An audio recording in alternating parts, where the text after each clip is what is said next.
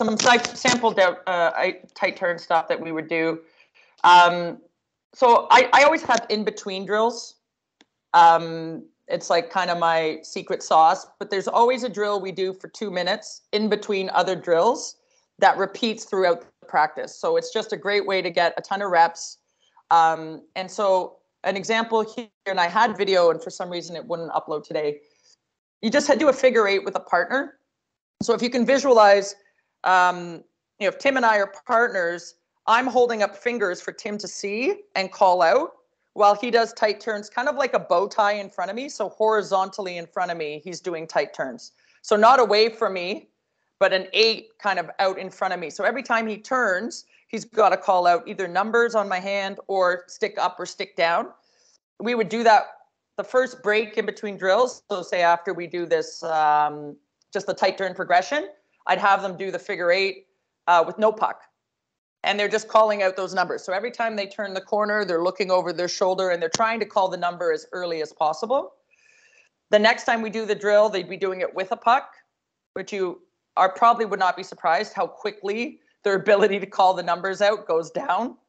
And then the final progression would be with passing. So they would be um, not calling out numbers anymore, but they'd be passing with that person and trying to give good targets. So again, just an easy way to in between every drill get a lot of extra skill in.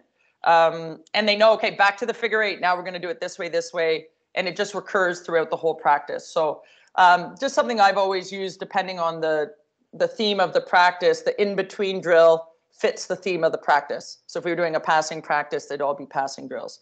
So this retrieval progression, and I apologize, it's a bit small here. Uh, let's make it a bit bigger.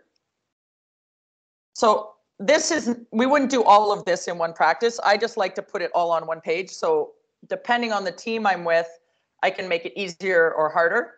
So I always start with open ice retrievals first. Uh, it's less scary for the girls than retrieving a puck off the wall. They're more worried they're going to smash into it or that they won't pick up the puck.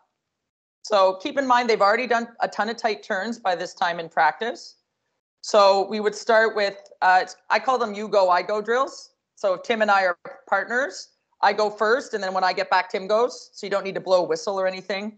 I always tell them just get inside the dot line before you turn, so you don't need a cone. Uh, they just know where the dot line is, and then they can go around that. Um, so again, we would just work on a basic weight shift to a tight turn, right? So this might be a little bit of a fake one way, turn the other way. Then they'd send the puck out inside the dot line, fake one way, turn back into it. These would be these first two progressions we spend a lot of time on, especially if you're trying to add deception. But even on that first practice before I really infused deception, just even getting them to time how to pick up this puck in a tight turn effectively. So the way I teach it, and I'm happy to debate this with anybody, right? I always teach the tight turn as inside outside crossover. So inside edge, outside edge, crossover. And when they hit their outside edge on the ice, they're trying to punch back in the direction they're going.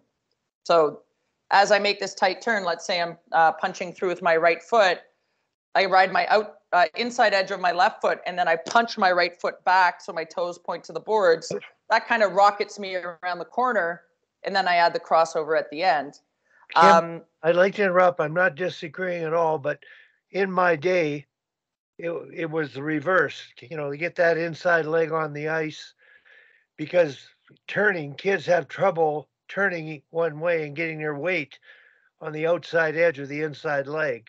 So yep. you're saying you're using a, a basically a jump, uh, as they call it, a bit of a jam stop turn. So it's a quicker turn, but you've got to come out of it regardless of which one with that cross under so you can accelerate. Absolutely. And I find it's a great point, Wally. And, and again, this is with um, with my audience, with the girls. Uh, I find a lot of them just haven't been taught how to tight turn properly. So they um, they either do it like they're skiing down a mountain, so their feet are too close, or they only use the outside leg, like they're turning with one leg on the inside edge. So even that idea of just punching the inside leg through on the outside edge is very foreign to them. And this would come way back when we're working on tight turns earlier in the practice. But I found if they actually lift up that leg and lunge into it, they start to understand the concept better rather than keeping both legs on the ice. When they keep both legs on the ice and turn, they tend to like look like they're skiing down a mountain. So Kim, again, Explain that again for my sake. I don't know if everybody understands this. I know, just describe it. Uh, which foot, you know, would you do that again? The, sure. we So- focused on inside leg ahead before and turning, but go ahead. Sure. So uh, if we look at the drill here, it might help. So as they're skating in towards the middle of the ice, Yeah. right before they've started the turn, they they load the inside edge of the outside leg. Right. So you're still facing the middle of the ice, but you've started to load the turn. Right. So you're on the inside edge of the outside leg Okay, in order to turn the corner and go back towards the wall, they're lifting up and punching that leg through on its outside edge to carve back in the direction they came from. So they've still got the inside edge of the outside leg on the ice. Then they lift up the other foot and punch it back. Again, this is making a really tight turn. Okay. Punching them back towards where they came from. So that's the inside edge of outside leg is step one. Step two is outside edge of inside leg. Step three is the crossover. And when I say step one, two, three, like they're happening pretty darn fast. But in the beginning, they actually have to do it slowly and lift up their feet. So whether that's a crossover or cross under, um, you know, we're working on both those edges when they cross out of it. Um, but those are the three steps I'm trying to amplify on the tight turn. And when they pick up the puck here, I'm trying to get them to touch the puck on the second step, which is the outside edge hitting the ice, so that they accelerate back with the puck and the puck pulls them around the corner, right? So the puck leads them back where they want to be. And I apologize, I don't have clear video of this. Um, my video uh, software wasn't working properly this morning. But that's, again, if I'm getting really granular with them, which I try to, I want them to pick up the puck or touch the puck for the first time on this when the outside edge hits the ice. And my when I do it that way, they tend to accelerate out of the turn with the puck much more quickly.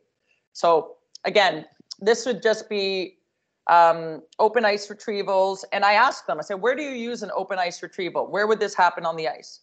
So they have to say, okay, well, maybe on the breakout if it's not against the wall, maybe on the regroup uh, when it's just floating around in the neutral zone. It happens all the time, right? But I ask them where they would use this skill. I'm not telling them you use this skill here.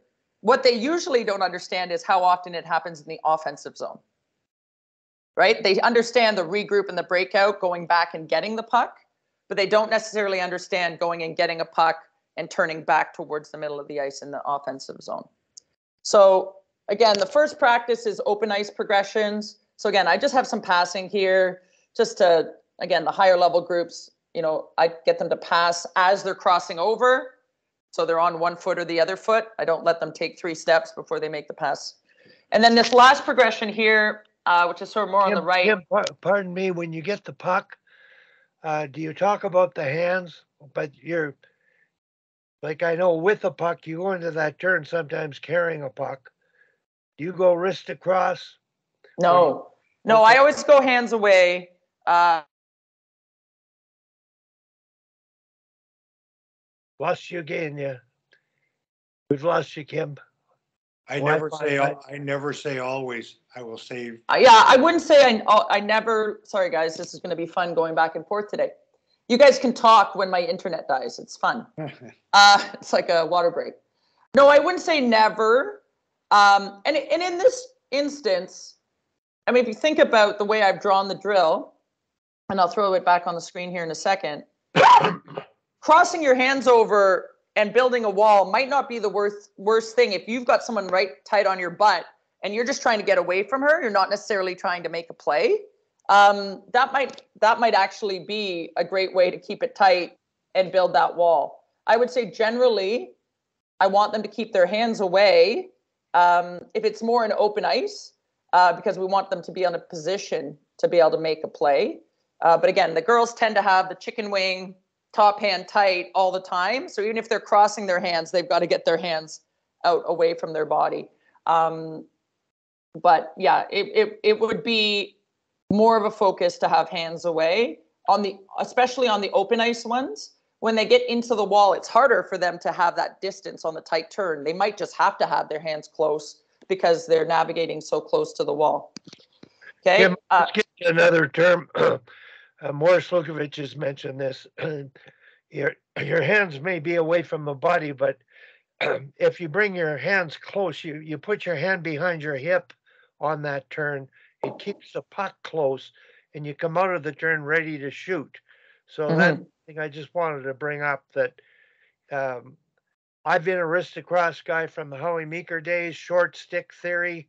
It's easy to cross the wrists and do the tight turn and cross over, but now the and with the longer sticks, I found the hand behind the hip helped them turn better. Uh, No, that's and I I often use the cue like you want your top hand coming out of your back pocket or out of your side pocket, so you want it to be like out there, um, especially on the backhand side. Uh, I'm always talking to players about like uh, not squishing their pillows, so their top like if they squish their hands in, they're squishing a pillow. So I want them to pretend they have a fluffy pillow between their top hand and their body, and their goal is not to squish that pillow. Um, you know, again, sometimes they have to, but if we're talking about uh, having maximum um, ability to make a play coming out of the turn, uh, we don't want them to be squishing that pillow. So hopefully you guys can see my, can you guys see the practice plan again, Wally? Yeah, I can see it. Okay, so just want to go quickly over this open ice retrieval here. So now we'd add back pressure. So they'd have a partner chasing them off the wall. And the first version of back pressure we would do um, is the player behind puts her stick either on the left or the right and makes it blatantly obvious which side she's going to have the stick on. So now the player has to look over her shoulder and make a read and she's to if we're if we're doing deception, she's to fake into the stick and turn away from the stick. If we're not using deception, she's just to find the stick and turn away from the stick. So that's you know really where we're uh, adding a little bit more scanning and, and awareness. So we would start that at about 50% and it would be scripted pressure. The player behind just puts her stick clearly one way or the other. And then we would add it um, to be non scripted pressure, where the player behind is just playing it like she normally would, trying to chase that player down. So again, they're not carrying the puck here. They've got a player behind them who's pressuring them. They've got to read where that pressure is coming from and then pick up the puck while under pressure. So that's pretty challenging uh, once you get to the the point where they have to make that read because they don't already have possession. So adding deception in there, um, you know, again, I would say is a relatively advanced skill that I would use with players later on, because in the beginning they're just worried about where the heck is that girl and how am I going to pick up the puck without falling on my face. So um, practice one with this, I would say on the retrieval progression off the wall, we're not we might get to back pressure. We're probably not doing the little passy ones I have in the middle there. And the back pressure would just be with that simple read of um, the scripted stick. And they, that to me, if I can get to that before I go into anything resembling a breakout, we already have won the breakout, right? If they understand how to read where a stick is, pick up a loose puck and accelerate away from that player, I think we're doing pretty well. Um, so here would be a drill that I just use. It starts to look like a breakout. It's not, I don't call it a breakout. So the coach just puts the puck in and they have to skate it out under pressure. So the second player, again, it might be a scripted stick. Uh, it could be a coach putting pressure on if it's, you know, if the players are a little bit more green. And this player who picks up the puck here, the X, just has to skate it out as fast as she can on her side of the ice. So again, with the girls, they're going to want to go behind the net and run away from contact. Uh, so I make sure they stay on one side of the ice. And what we start to see here is they're going to turn up ice away from pressure, and that player is going to be right there. So now we can start to say, okay, how do we beat her? You haven't beat her with that first turn. Are you going to turn back? So here the tight turns come back in. Are you going to turn back? Or are you going to drive skate around that player and continue in the direction you're coming from? So I kind of let it happen organically and see how they do, just trying to skate it out. And then once I start to see the the forechecker, I guess, and I, I don't call her that, but the defender being a bit more aggressive and the attacker doesn't get a clean exit, we bring them back in and say, okay, well, you didn't get it out on the first tight turn. What did you do? Oh, I turned back the other way. But what you'll see a lot of them do is they turn into the girl and then they try to like Tommy toe drag her. Uh, when they turn into her to try to break the pressure instead of turning back away and creating uh, with another tight turn. So again, this drill I would do with as young as U11, may, uh, probably the U9s. It would just probably happen a little later in the season when they can actually handle a puck and tight turn with more confidence. Um, I also do it uh, with U9s. I do it with a, a ringette uh, ring to start. Um, so, Kim, Yeah. I'd like to mention again because uh, watching Tom practice and the other coach of the Wee 13s, I really appreciate the teaching you're doing. You are a skills expert teacher. The uh, coaches like uh, Tom and Wes may not get into the details of those specific skills. So I've sort of tried to simplify it for the average coach uh, who isn't, you know, doing such specialized detailed work. And I'm looking at your diagram here. And the first thing I thought on the diagram is take turn, go to the wall. I'm thinking of breakout. And that's that, that whole idea, the, the checkers chasing you and you're drawing them. Tom Malloy mentioned under pressure in the ozone, as soon as you get the puck, if you shake your head, that's a, a friend of ours did that all the time. That head shake, they mm-hmm. bet you could go the other way. Even if you couldn't tight turn well and cover it in a, you know, technical perfect fashion, the importance of the fake and the tight turn, skating out of the turn, I would emphasize. So all I talked to Sam uh, Holmes about last week was just skating around the rink slowly, call for, fake inside, turn outside, go the other way without a puck, and then with pucks. Skilled between drills because everybody's running conventional drills. And uh, I'm just keep up with these details. They're huge. I'm just saying maybe the average coach with their players can have them skate around and learn about slow, fake inside, go outside before adding a puck. Thank you very much, Kim. I wanted to get that in. no, and that's great, Wally. And, and I would say, um, I, I would add the deception usually in the second practice. So we would come back to these drills and revisit them when, and I always have the three parts of deception, right? Eye, stick, body. So we've all seen the stick wave, right? That often accompanies the head turning, right? And that can beat people really easily before you get to the puck.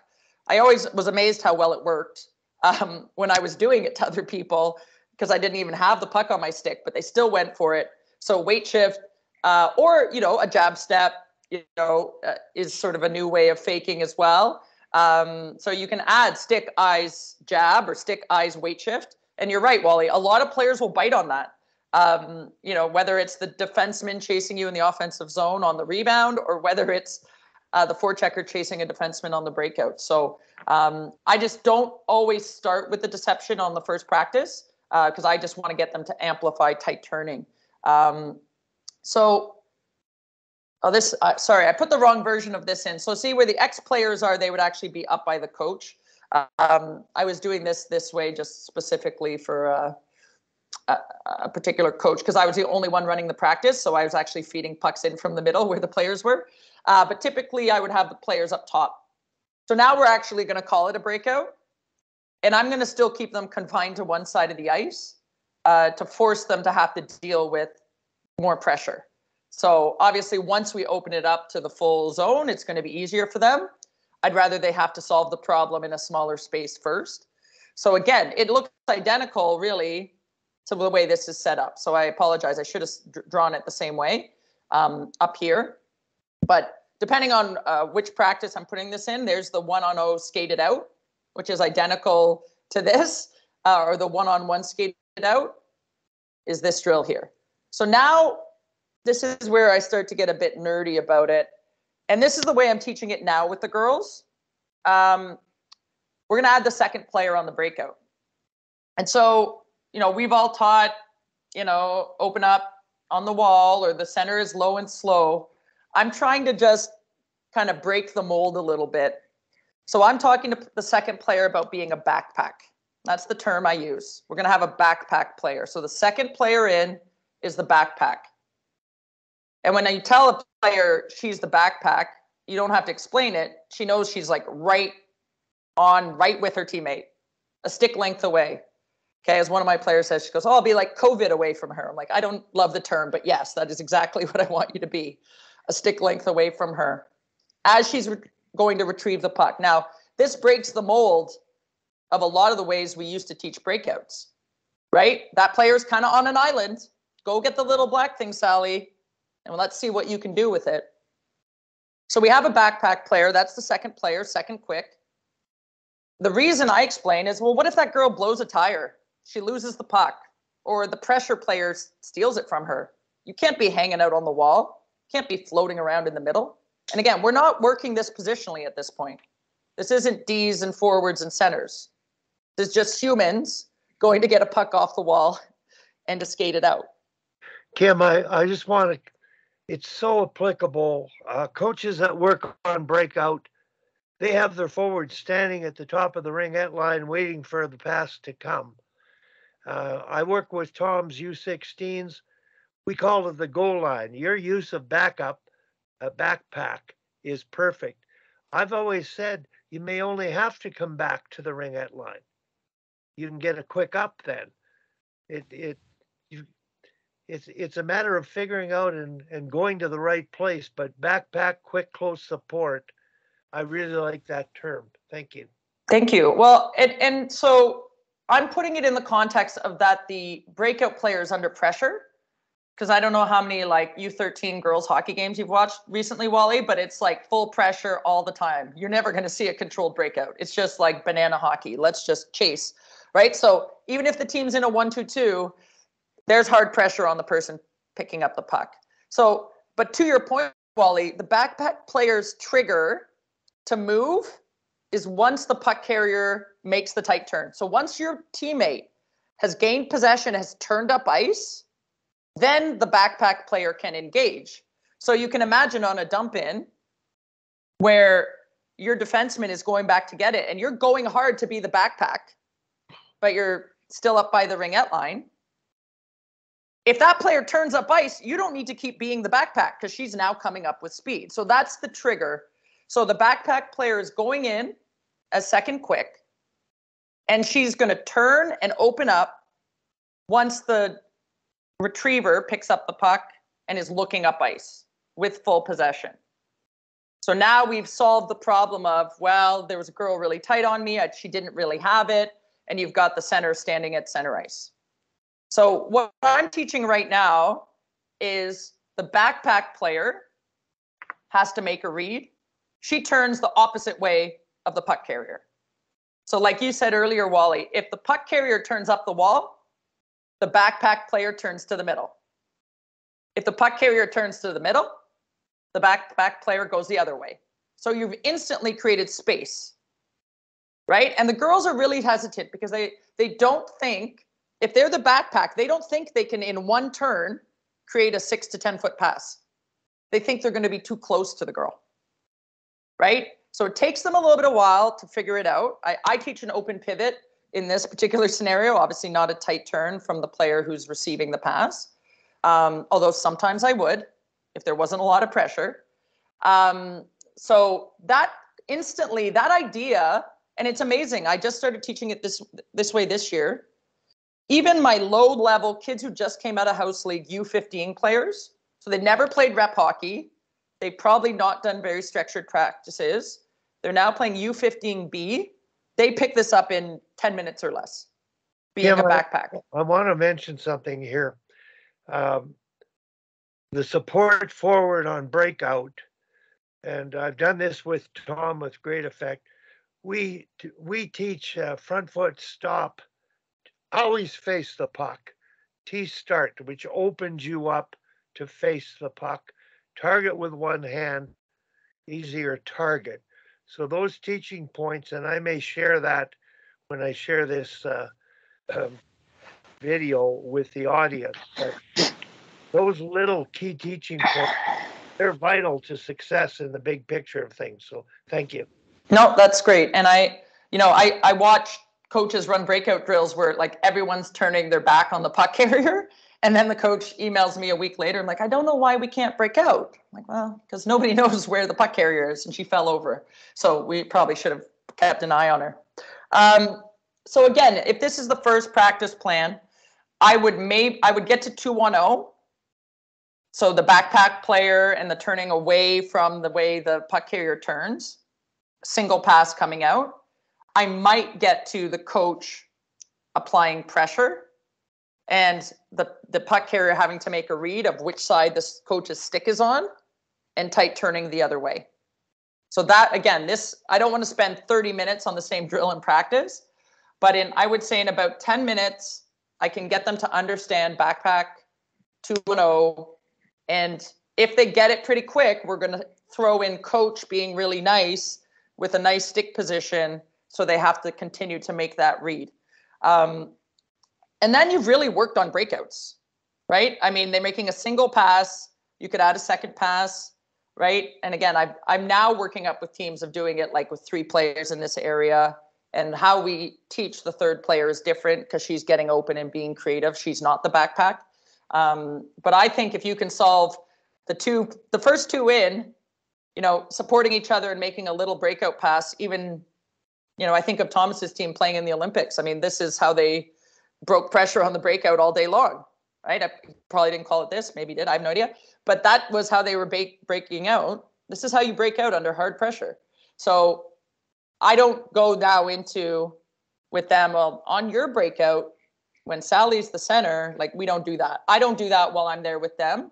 But the feedback from the coaches has been that none of the teams I work with have had any problem breaking out. In fact, they're breaking out extremely easy um, using this. So, and they're not working a ton on breakouts other than when they're working with me. So that's really good feedback for me. It doesn't matter if they can do it in practice. I need to know, can, is it working in a game? Are you getting stuck in your end? The feedback is they're not getting stuck in their end um, Tim with using this system. there.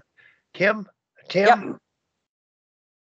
Yeah, yeah, just for, just for clarity, Kim, I mean, this is all great. So if, if I'm getting this instruction at practice as a backpack player, I, I love, I love the analogy and uh, like you say, if you're coming back in the zone, you're, you're hustling to be a backpack versus coast, coasting, standing and watching. So if we go one step ahead, and you might be getting there, but now if there's a puck retriever, and obviously in a game or in an upcoming drill, there's a checker. Is the backpack player's target to be a backpack on the checker? Because obviously if she's a backpack on the offensive player, she's gonna be right beside the checker almost. So just for clarity, maybe talk through that. Yeah, totally. She's the backpack on the checker, right? So the checker would be in between the two. And then and and that's, you know, depending on the the team, like we might instantly I might tell the coach pin pin the puck carrier. Just go pin her and see what happens. Right? And then you instantly have second quick support on the defensive side. Right? So I don't necessarily say, okay, now we're going to teach it on how you defend, but when the breakout breaks down and someone gets pinned, right? The four checker wins, right? All of a sudden, we're in perfect support position if we're the backpack player. So that's typically um, what I would use to illustrate it. But no, that's a great point for clarification, Tim. Thank you. So And obviously you, the backpacker needs to read how much pressure is the retriever under. Obviously, the, the more space between the re- retriever and the checker, then sort of, um, I guess the sort of the, not the less urgency to provide the backpack, but you know, you're gonna have a better opportunity. The retriever's gonna have a better opportunity to, to turn up ice versus being worried about, um, like, as you say, a, a pin or a contact and a turnover where the, where the second quick backpacker is needed, so to speak. totally, and I and I I always tell them that the trigger is your teammate turning up ice and getting eyeballs up ice because we've all seen the girl who gets it at our blue line and there's no pressure and still skates it all the way behind our net.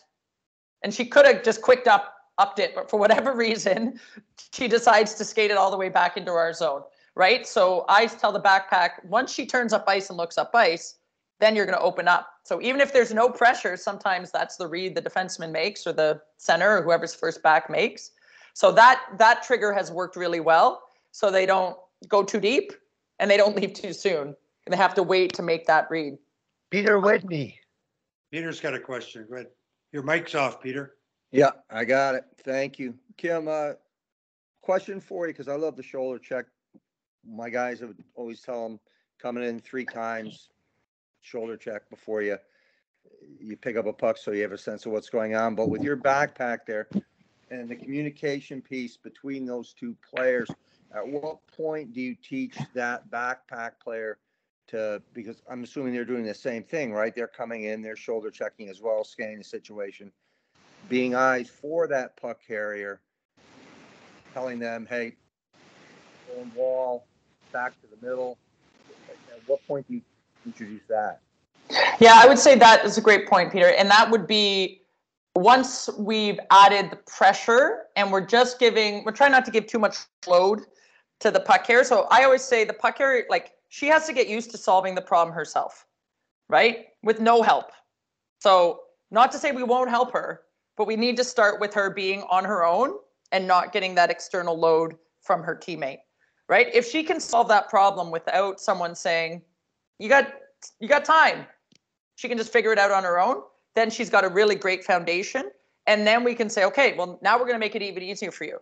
Sally's going to tell you what side the stick's on, or she's going to tell you you know, quick up, or she's going to tell you wheel behind, or that kind of thing. So I, I like to make it a little harder first to have that tension, and then release that tension by adding, you know, that that level of communication. But absolutely, that second quick has to be scanning and looking for pressure. Uh, I think we tend to get into like five man breakouts way too fast. Like I watch teams now doing five man breakouts all the time or five player breakouts, and like it's barely October, right? And so if we can build that communication just between second quick and, and the puck retriever, then to your point, we're we're golden. We can break that first pass or or make beat that first forechecker and and we're off to the races. So no, that's a great point. And I would do it probably if this is a practice progression, probably the second practice or the third practice, we would start to talk about the communication of second quick. Um, so this would be the last drill of not of this practice plan, but of the like skill coach part of the practice plan. So now we would put it into uh, a regroup, right? So it's still an open ice retrieval. It's identical to what we just did on the breakout, but now they're actually going to go and attack off of it, right? So the and I, I've written it here as D's and forwards, but uh, when I first do it in practice, it is not D's and forwards. It's first player go get it, second player be the backpack, figure out which way she's turning, turn the other way, or open up the other way, get a quick little pass. Okay. And then usually I engage that puck retriever almost right away. So we're only going to do a one on O version of it for like a moment. And then very quickly, it's going to be a give and go. So the player who retrieves the puck jumps into the rush. And whether it's a two on O or a two on one with the coach giving pressure, um, that transition happens really quickly because we've already got all those reps on the more breakout version of the drill to get them thinking about how the backpack works and how to create quick support. Um, so again, this is sort of where the final teaching drill, like pure teaching drill, I would do uh, in a 60 minute portion of an 80 minute practice, or if it's a 60 minute practice, uh, we might not get this far, uh, depending on the level of the team. Um, but you can see here in, in sort of the notes of the variations, you know, there's this can become five on five or five on oh, like if you want to, real quick. Um, and obviously you can add second pucks all over the place, but the the focus would be the retrieval, that quick little pass to the, the, the second backpack player and then speed up the ice through the neutral zone. So that brings it all together pretty well. And um, you know, it, it hinges all entirely on that tight turn and that scanning and that quick up step up the ice. Um, so every single drill, even my little in between drills with the figure eight, is still amplifying uh, those same skills. So um, Kim, I I, just- I, I want to, uh, interject just because I'm thinking of coaches and how they approach breakout. And if you have a pregame warm up, Dom, I think you had a pre-game warm up at your tur- tournament. Most teams practice a dump in five on zero breakout. And one thing I see them doing at, at that level is dumping the puck in and the forwards just parking, going right from the outside down to the wall as opposed to come back through the middle and then locate. So that's sort of like coming back like a backpack in a unit of five and then spacing yourself relative to the breakout. I just wanted to throw that in because when they practice breakouts without this coming back to the middle, coming back to the home plate, and then fanning out to the available necessary spots, they're working on, it's a bad habit.